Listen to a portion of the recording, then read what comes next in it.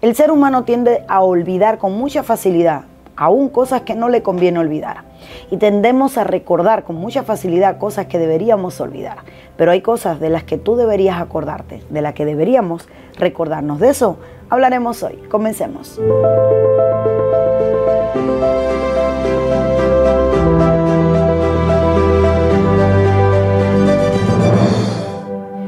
Buenos días, bendiciones, gracias por acompañarme una vez más en otro programa de Amaneciendo. Hoy para poder estar hablando bajo el tema Acuérdate de aquellos. Así es, acuérdate de aquellos. En nuestra vida, hace unos programas atrás mencionaba que hubo gente que nos impulsó, que nos ayudó y que de cierta manera nos apoyó. Y muchas veces tendemos a dejarlos en el olvido y a no acordarnos de ellos cómo sufre una persona cuando alguien se olvida. Y quiero llevarte al libro de Génesis capítulo 40 versículo 14. Ese momento en el que José está preso y dentro de la prisión interpreta los sueños del panardero y del copero del faraón.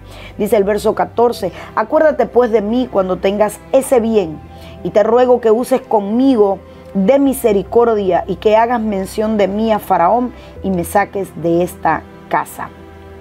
Impresionantemente yo veo que se habían olvidado de José. José le hizo una petición a aquel hombre al que le interpreta el sueño, acuérdate de mí. Cuando el copero y el panadero tienen el sueño y él llega a decirle al copero, vas a volver a tu posición, vas a volver al lugar de donde saliste, lo único que José le pide es no te olvides de mí, acuérdate de mí, habla de mí, quiero salir de este lugar, acuérdate de mí.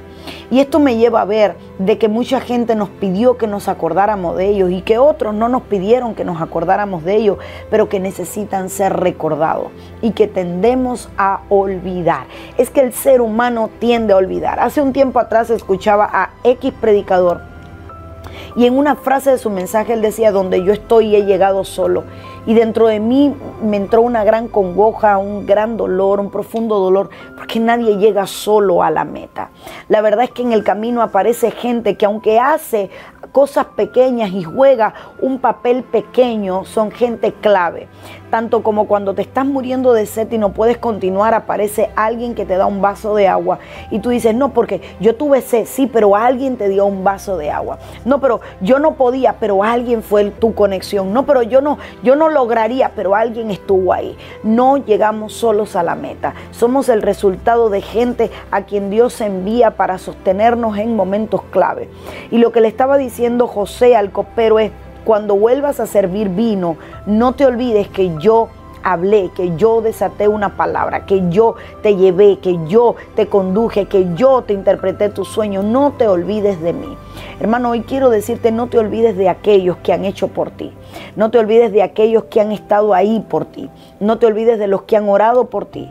No te olvides de aquellos que han estado ministrando. Es imposible olvidar, no podemos olvidar. Por eso yo digo que no hay nada más hermoso que las crónicas, que las memorias, esas crónicas que, que, nos permiten recordar las cosas que Dios ha hecho.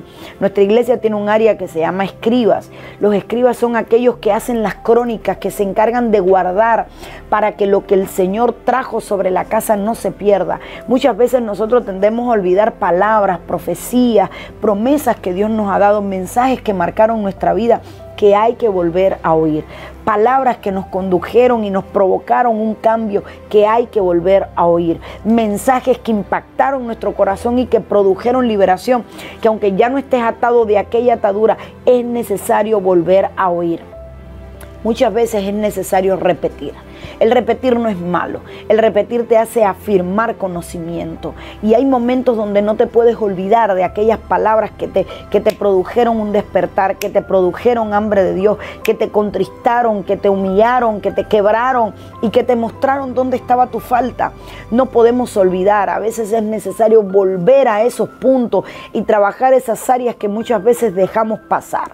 Sabe que recuerde hoy el nombre de aquel mensaje que más le ha ministrado y vuelva a oír, que no termine el día sin escuchar esa prédica que en algún momento te llenó, te ministró, te habló, vuélvelo a oír, aquella profecía que te dieron, vuélvela a oír, aquella, aquellas notas que tomaste en un cuaderno, ábrelo y vuélvelo a leer, porque José estaba sufriendo porque otros se habían olvidado de él. Nosotros no podemos olvidarnos, no nos puede dar el síndrome del copero, de que cuando estemos bien, se nos olvide el proceso que pasamos cuando estábamos mal.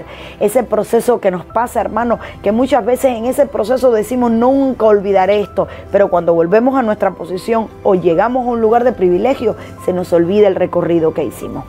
Prohibido olvidar.